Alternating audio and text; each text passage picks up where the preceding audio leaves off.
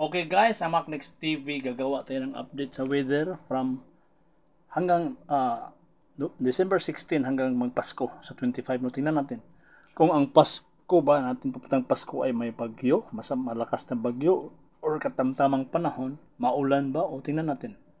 So ngayon guys, sa 16, Friday, alas 12 ng hapon, ito, ito yung mga malakas na easterly wind, which is mga pag-ulan, pero portion pa, area-area lang to eh.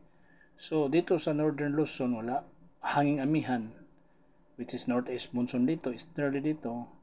Dito sa Mindanao, may mga ulan na portion, hindi siya malakasan. So, ngayon, patakbuhin natin, 16. Kasi tingnan natin, oh, ito, ito, ito, palakas to, amihan to eh. Okay, nakita mo yung malakas yan guys, easterly wind, papasok. So, mga ulan-ulan to, 16, 17. Maliban sa extreme Northern Luzon, ito yung sh- shear line. No? So napakalakas ng hangin amihan dito. Kita mo laking alon dito. Walang bagyo pero ito nakita na namumula. So hanggang 17, 18, bumababa siya hanggang sa Southern Luzon.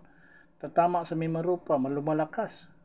Maalon to guys, itong mga uh, 18, ah 19, umabot yan hanggang dito kahit dito sa Panay, itong portion, itong gap na to, Palawan, Panay, malaking alon to dito. Sa 18, hanggang sa Mimarupa. Umaabot ng 26 knots. Kita ito hanggang, hanggang Visayas. Sa Southern Mindanao, wala. Pero tatamaan pati Negros sa malakas na amihan. So ito hanggang 19, 20. Kumakalma. Pero dito sa central part, eastern part ng Luzon, nalasa pa rin ang amihang malakas pati sa West Philippines so ito nang mula guys. So hanggang 21 wala pa tayo nakita dito na namumuong posibleng magiging bagyo papuntang 21 naging maliwalas ulit. Oh, kumakalma na naman ang Mindanao, Visayas Mimarupa 22 maliban sa mayroong naiwan ditong malakas-lakas sa southern eastern part ng uh, Luzon. Pero may bumalik na naman siya sa 22, 23 dito banda ito Mimarupa mga pag-ulan lumalakas-lakas ang amihan. Papuntang Negros hanggang sa 24 itong namumula lumas yatang lumakas hanggang 24 guys ha?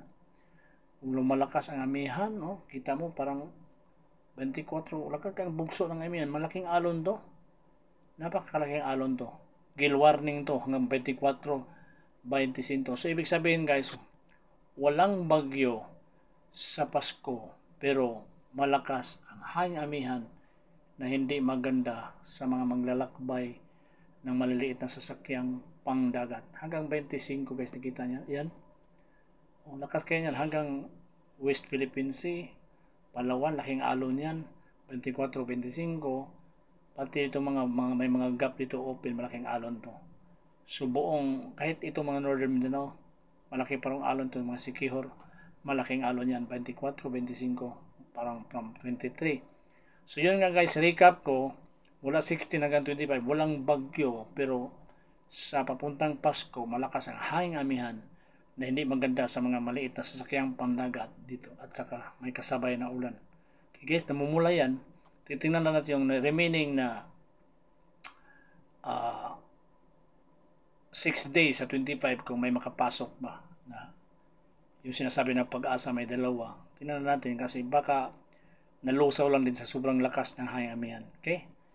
25, wala pa tayong nakikita na pwedeng ma-develop at magiging bagyo. Maraming salamat. God bless.